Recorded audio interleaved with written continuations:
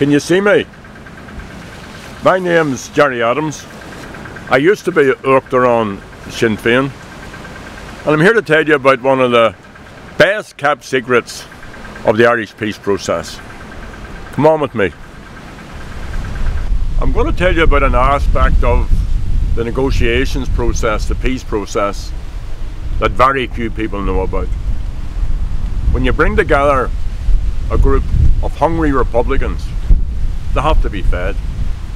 So who fed them? We fed ourselves. Ted Howell, an outstanding cook, Padraig Wilson, a really wonderful maker of delicate little milshogy sweets, desserts. They fed us for years and years and years. In fact, Martin McGuinness, God rest him, put on weight during some of the negotiations processes. So I've come here to this uh, very remote spot. This is a big secret.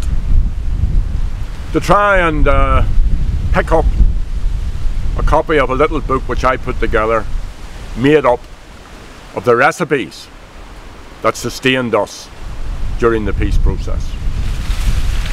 Ah, Gora Moy Ogad Bush. Sin Galanta. Sin Galanta. It got you long. When I was putting this book together, there were numbers of suggestions for what we would call it.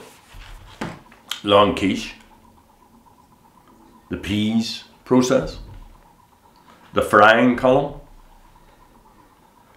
come out you rack of lambs. But we settled for your Cogarachta, the negotiators cookbook. It's a must for every kitchen cabinet.